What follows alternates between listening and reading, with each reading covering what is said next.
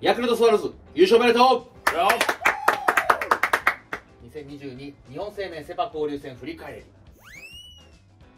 やっぱりねヤクルト党の俺らからしたら嬉しいね。ああ嬉しいな言ってたしな。ああ言ってたからねヤクルトが今年は行くってね。今年のヤクルトは強いって言ってたやああ言ってた言ってた。な阪神なんかも面白いなんてな。ああ言ってた。言言ってたやな。ってましたね。なあソフトバンクとかもやっぱり弱いですよ。ああバシバシ決まったねこれは。中田か全然違う。えーどうどうどうしたの？おかんむりで。いやいやいやいやごめんごめんちょっと。あ何？よの4日間もプロ野球がないから。あそそういうことね。ちょっとなんか変なあ気持ちになっちゃって。あそういうことか。ごめん。あオタクがちょっと調子悪かったからとかじゃなくてね。ちょっと簡単に振り返っていきま振り返りましょよかったね。う強いな。これはちょっと。文句なし。文句なしだね。ねこれは最高勝率じゃないもしかしたら調べてないですけあど。あでもあり得るね。この回はすごいよ、ね、あそして阪神かき回したーね。あーこれは各解説者が手のひら返って後半戦は。本当そうだね。ああ来ますよと。もう言わん方がええと思うよ。ななんか。いやまあまあまあ4位まで上がってきたからねでもこれでセ・リーグの順位もう虎の足音が聞こえてきてるね。カープ。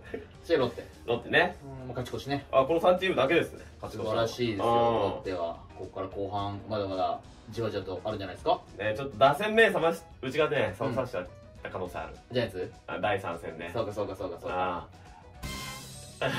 いやそれはあるかイエスマーディン？いや待ってあーソフトバンクとかもね。手堅いね。手堅い手堅い。もうこれもう合格でしょ？うんまあいいんだよ。もともと2位だからねパ・リーグの。他のチームのな結果見ても。そうそうん西武うん。D n a なんかね5割死守したところはまうんまあそうね。丸でしょ。丸丸丸。あね。うんしたらもういいいい子？ああまあね。日本ハムよく頑張ったんじゃない？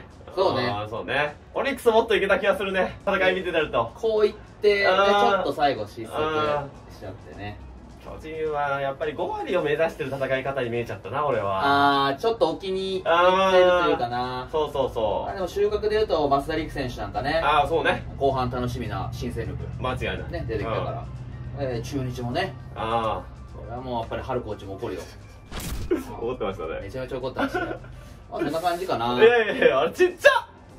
え？チャイチチャイチだね。はい。いや書いてないいや12書いてないように見えるじゃない。俺だと。書いてあるよ。広島って書いてあるよ。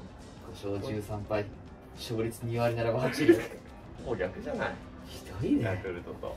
もう本当に辛かった。俺はもう終わってくれたことに感謝。あそうね。これで済んでよかったね。えっと僕ら門殿階段の予想ではあ広島はちょっとセ・リーグ。あねもんちゃんはね3位にしあ2位にしてますよ。いいですか。あ僕は3位にしてますよ。3位ですか。誰が見んだこんなチャンネル？ひどいね。ひどいよ。これはひどかった。あ楽天と広島が投手力非常にいいんでそこでグイグイ行くんじゃないかと。いい感じで入ってったからね広島も先発に揃って。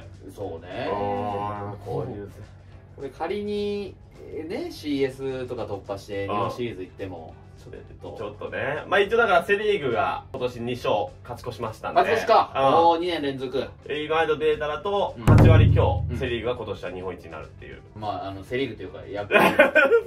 ヤクルトだろ？いやいやもう関係ないからね。なのであのねセ・パ交流戦前に出していたデータ、はい。うん。セ・リーグでいうと過去7年のうん。統計というかデータから見ると、はい。交流戦をうん。5割7分6厘10.3勝うん。平均で勝率でね。はい。でクリアした球団はセ・リーグ優勝してると。ヤクルトと阪神ヤクルト阪神まあなんだけどゲーム差考えてもちょっともうヤクルトのぶっちぎりが確定したんじゃないかな。うーんちょっとねこれはいいくねいきそうね。そうだね、うん。えーパ・リーグでいうとえー平均勝率。6割1分6厘。11.08勝と。うんうん。うんだからどこもクリアしないんだよね。ああそうね今年に関しては。だからセ・リーグはこう優勢な年が少なかったから。そうだね。あー今までは。これからセ・リーグですよ。これからセ・リーグですねこれ見ると。そしたらパ・リーグはもう少し団子が続くのかな。ああそうね。楽天もなんだかんだ死守したんでしょ？そう1位優秀出一位よね。ね。まだわかんないですよどうなってくるか、もうだからパ・リーグを追いかけましょう。あなたあれでしょもう交流戦の18試合ほとんどあの他球場のせ結果しか見て追ってないでしょ？追ってないです。パ・リーグ勝てと。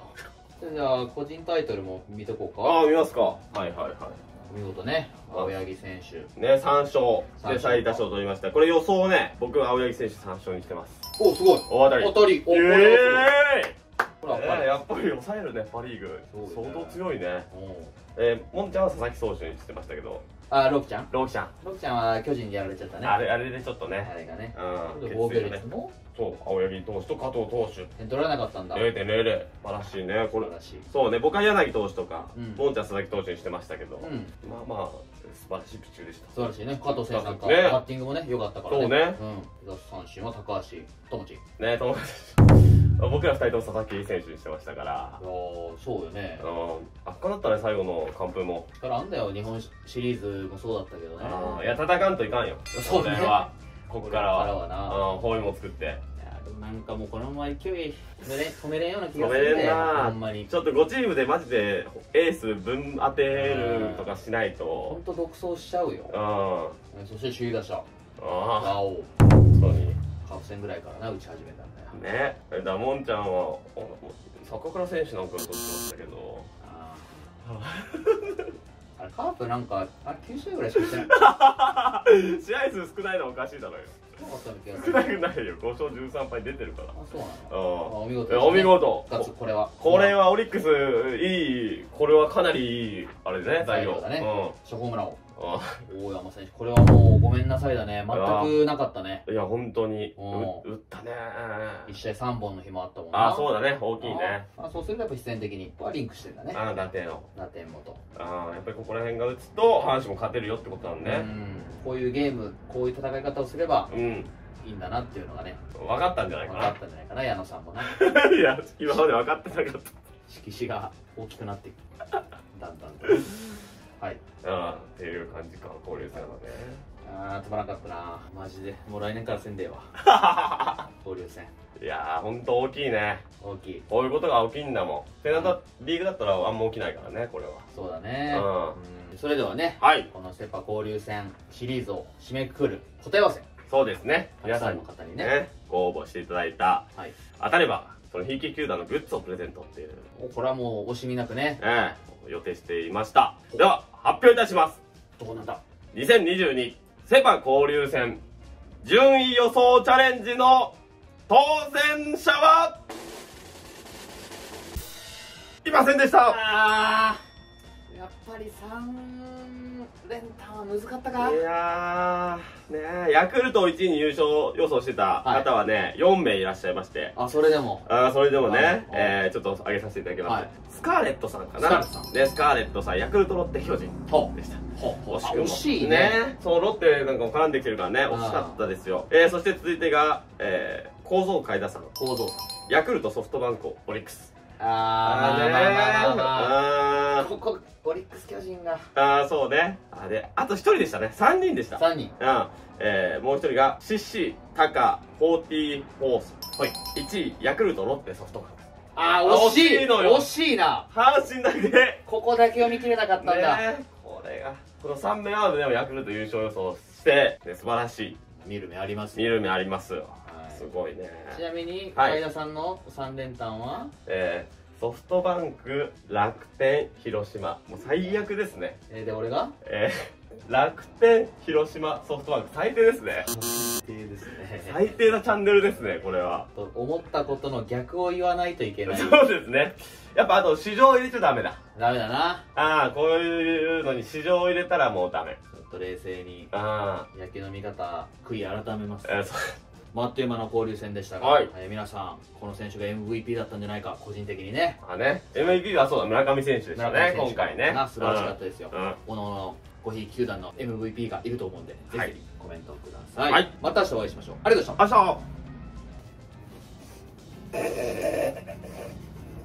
それ決しても変わらんからもんちゃん。でも認めるところから始めよう。タグついてるし帽子にタグついたまんまだしあえいかんはフェドロに輝く語呂悪っチャンネル登録お願いします